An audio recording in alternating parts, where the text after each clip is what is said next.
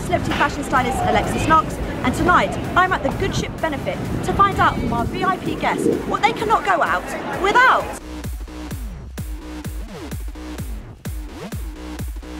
Hi, we're Stooshe and you're watching Pretty Upfront.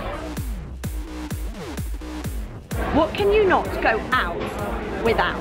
I can't go out without my knickers. Just a bit of a Smashbox, smash box news. Like everything's in there. I even bring strobing out. And then like lipsticks, tampon, blusher.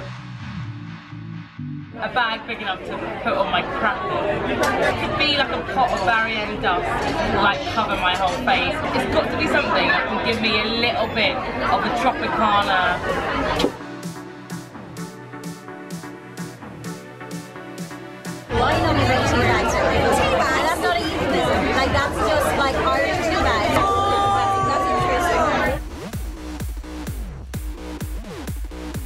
Lanolips is um, an Australian lip balm made from, I don't know exactly, but like it comes from a sheep.